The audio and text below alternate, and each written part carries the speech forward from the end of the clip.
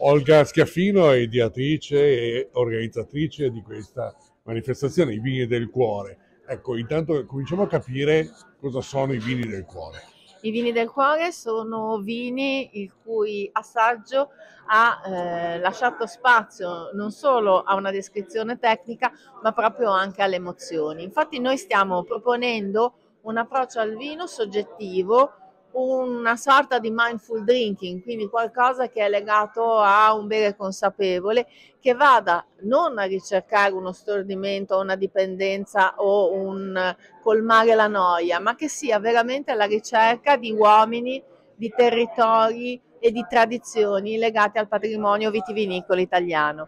E ogni anno nella guida i nostri blogger che sono selezionati mediante un contest su Instagram vanno a cercare delle perle enoiche e raccontano quelli che sono stati gli assaggi, quindi un racconto che potrebbe essere quasi prustiano, no? che racconta delle memorie, delle emozioni e fa sì che poi il lettore venga avvolto in questa descrizione che lascia spazio anche a delle considerazioni anche da parte di chi legge. Che territori sono coinvolti? Diciamo che eh, abbiamo la fortuna che siano coinvolti territori da tutta Italia e eh, quest'anno eh, in guida abbiamo avuto tutte le regioni rappresentate.